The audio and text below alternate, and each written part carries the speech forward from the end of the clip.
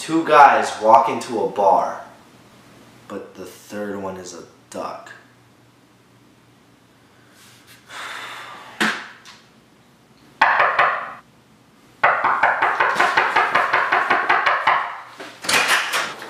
Joke!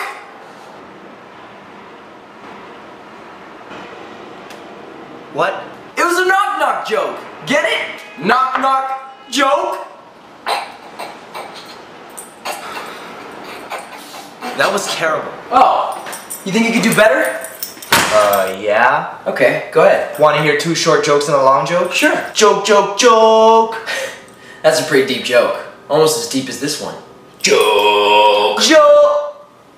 Oh, I'm sorry, I was only half joking. Joke! Blonde joke. Joke Asian joke. This is really getting serious now. Are you serious? Black jokes? That's the one type of joke I can't stand.